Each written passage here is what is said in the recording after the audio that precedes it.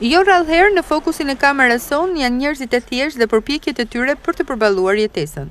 I tillë është edhe rasti i Teuta Rrushkllit, e cila pas djegies së banesës së saj rreth dy vite më parë, nuk ka një vend për t'u strehuar. Për mikrofonin tonë ajo tregon se kohët e fundit ka kaluar një sëmundje të vështirë, por është e detyruar të ulet në cep të rrugës me një peshore për të fituar disa qindarka në ditë.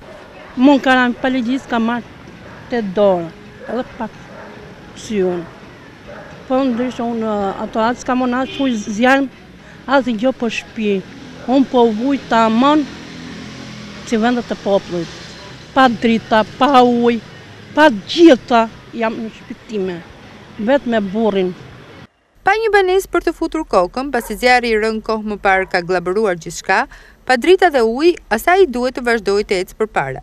Ajo tregon se e vetmja mënyrë për të siguruar bukën e gojës është lypja. Me të lypja, asgjo tjetër. Ndonëse disa herë ka qenë në fokusin e kamerës sonë, askush nuk i ka ofruar ndihmë, megjithëse kushtet në të cilat jeton janë shumë të vështira. Por, nuk e ka humbur shpresën. Ajo vazhdon të kërkojë ndihmë.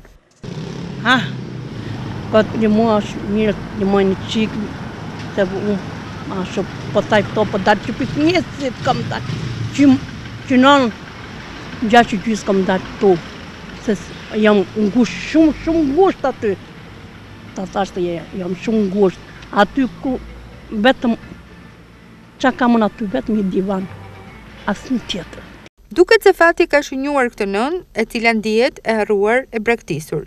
Ditët e saj nisin dhe mbyllen në rrugën Aleksandër Goga, duke shpresuar dhe duke pritur një dorë që t'i zgjatet për t'i rikthyer buzëqeshjen e munguar, aq më tepër që fushata elektorale tani është në prag.